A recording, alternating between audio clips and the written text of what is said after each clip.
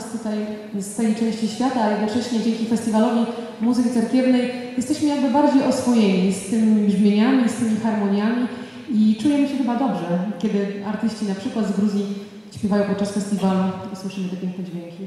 A za chwilę przekonamy się, jak brzmi muzyka cerkiewna na Bałkanach, bowiem kolejny y, chór, który wystąpi przed Państwem, jest to amatorski chór świecki, żeński zespół wokalny Mironosice z Suboticy, z Suboticy w Serbii. Zapraszamy.